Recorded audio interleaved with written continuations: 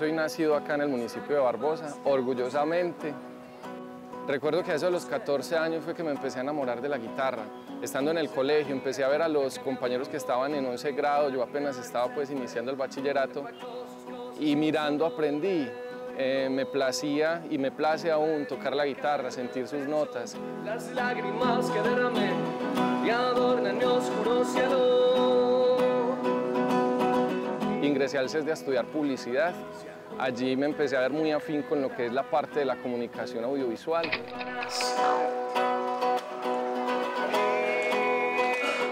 Desde el segundo semestre empecé a trabajar en el municipio con, con trabajitos pequeños. Fue así como compré entonces una Reflex, una Canon de las viejitas, me valió como 120 mil pesos. Y con ella empecé a hacer trabajitos en la universidad, pero a donde iba con ella podía ver fotografías ahí estáticas, estacionadas.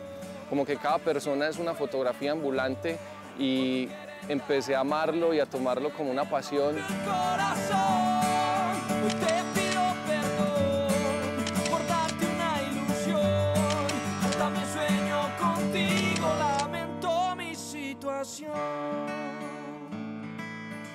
Eh, desde el año pasado ingresé al SENA y en el SENA estoy cursando la tecnología en diseño y decoración de espacios interiores.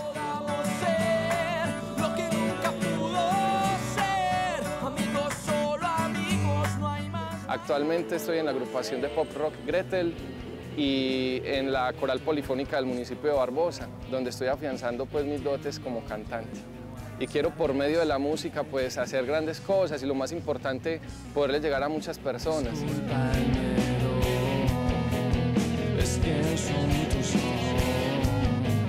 ¿Qué sentido tendría desistir de intentar en la tierra que te vio crecer, que te vio nacer y que te ha aportado todo lo que sabes y dejarla así como si nada? Yo pienso que esa insistencia y esa perseverancia en algún momento va a dar sus frutos en el municipio y con la ayuda de Dios para salir luego de él, pero nunca olvidándome de dónde vengo. Que no me falte el aliento y sea como debe ser. Que no me falte el aliento. Cada momento y cada instante es una oportunidad para aprender. Entre más sepas y conozcas, pero con humildad, y lo pongas al servicio de los demás, estás acrecentando tu vida y vas a tener no tanto oportunidades laborales, sino oportunidades de ser tú mismo y de aportarle a la sociedad.